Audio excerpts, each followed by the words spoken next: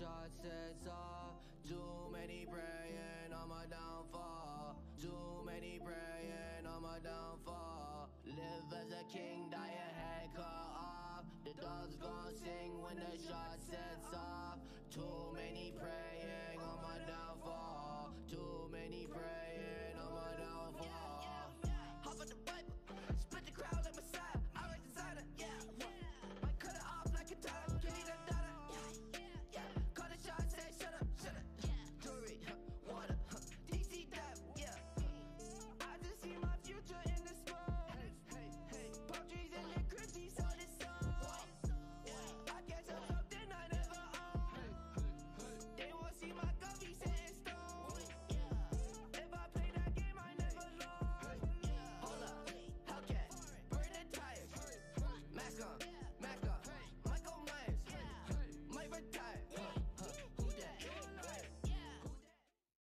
Hey, what is going on guys? It is iFade here and welcome back to a brand new tutorial. Now, I've actually done this tutorial in the past, but looking back at it now, I didn't really explain it good, and plus it was on an older version of Dark RP, therefore making it outdated, and plus it was in 2015, also adding to the point that it was outdated.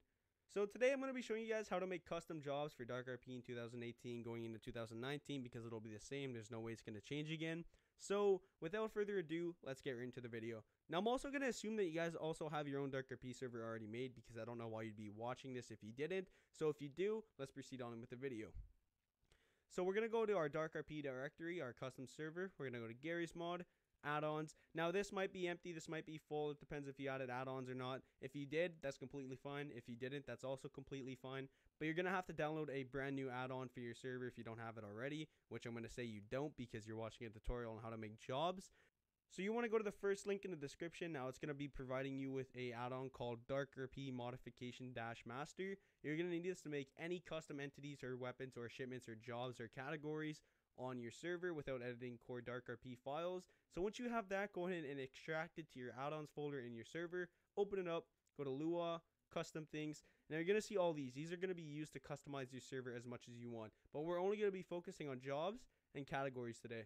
So we're going to start off with the easiest one, which is categories. And also, you're going to want to right click this and you're going to make sure you have Notepad++ because you will need it. That'll be the second link in the description. Now, once you have Notepad++ installed, if you already do, that's great. Go and right click categories.lua, edit with Notepad++, and this window will come up here and there will be nothing in it. Under the add new categories under the next line should be completely blank. So we're going to click the line. We're going to do two spaces. So you'll see line 24 come up. Now you're going to want to click the third link in the description, which also takes you to the iFade category template on Pastebin. You're going to want to scroll down to the raw paste data. Go ahead and right click, copy, make sure you have it all highlighted, minimize the window, and paste it on line 24.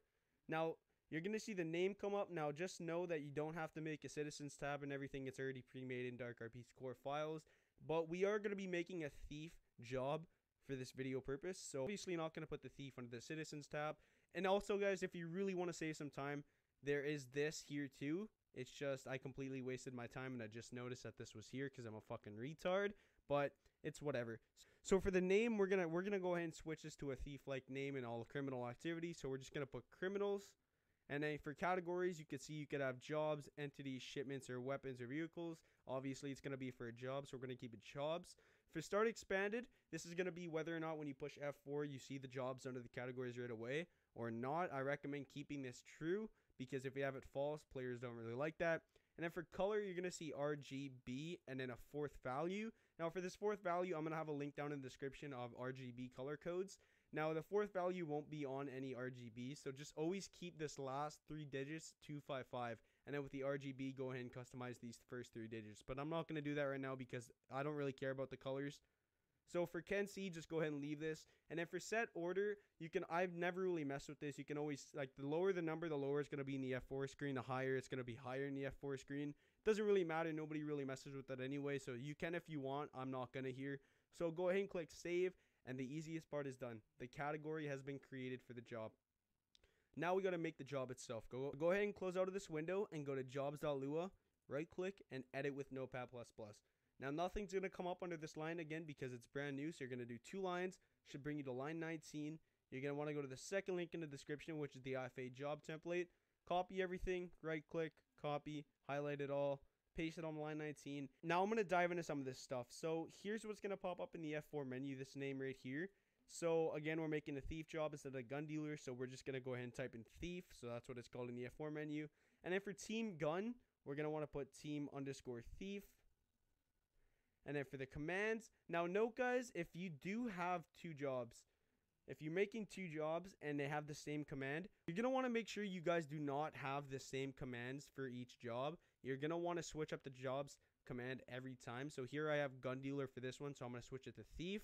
And then this one's gun dealer, but this one's also team underscore thief, so we got to switch that too. So team underscore gun. And now we could also switch this to gun dealer because this would be the gun dealer job. Now that the command and the team name is switched, you are good to go. You also don't want to have the same name as well.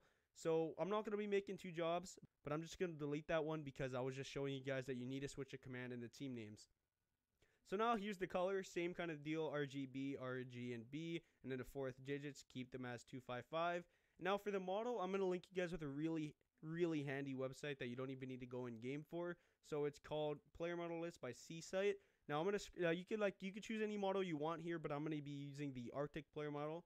So go ahead and click copy, minimize the window, and paste it between the quotation marks in the model. Now you're going to want to make sure it is grayed out because if it's black, that means you do not have a quotation mark ending it. So go ahead and put one and it should be grayed out and you should have a comma at the end of it. Now for the description, you could go ahead and do what you want. You could you could make this really nice within the two brackets here. So you could be uh you are a criminal and then you could really get nice. So uh can raid. Yes. Can mug. No, you guys get the gist of it. And to end it off, you pretty much just want to have the two brackets here with the comma, and then that's that's what's gonna pop up in the F4 menu for the description of the job. Now for the weapons, this is really easy. So you just want to put a quotation mark, and I'm gonna be using the default lockpick that always comes on Dark RP. So it's just called lockpick, and then end quotation mark. Now if you guys do want to add multiple weapons, after the first weapon, go ahead and put down a comma, space, quotation mark, and whatever weapon you want to add again. So I'm gonna go ahead and add a weapon underscore pistol quotation mark. Now, if you guys want to add more weapons, keep pushing commas and stuff and keep adding quotation marks and weapons.